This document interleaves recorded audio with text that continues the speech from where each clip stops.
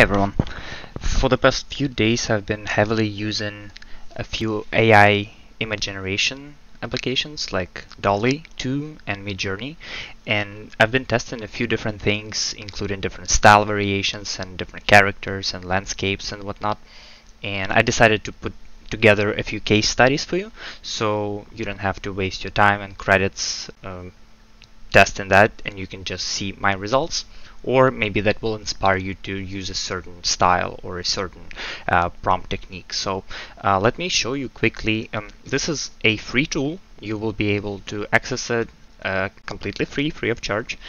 And um, you can see right now I have two case studies and I'm planning to add more. But um, in the first one, I have uh, 50 different uh, random styles and different style variations.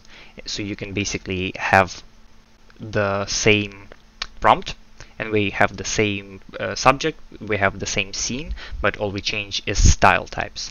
So you can expand and see the differences between Midjourney and DALL-E. We have 50 of them. So that's something for you to explore. Another one we have here is the characters and landscapes. This is even more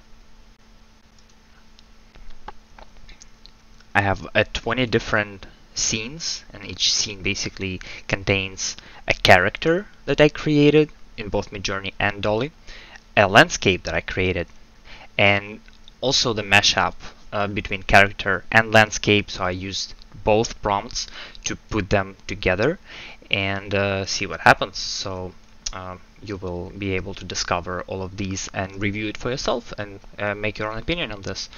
Um, if you download this tool, you will be receiving some updates. If I decide to do more case studies, I will see how much time I have and how much I want to invest in this. But if you guys like it, uh, let me know. Uh, I have a form here so you can request another case study if I feel like doing it I might just do it and uh, release another one for free so I hope you like this and um, if you want to get this, there will be a link down in the description. All you have to do is you just have to go on my Gumroad page um, and download this. You can download it for free, or you can include some donation if you want to support my work.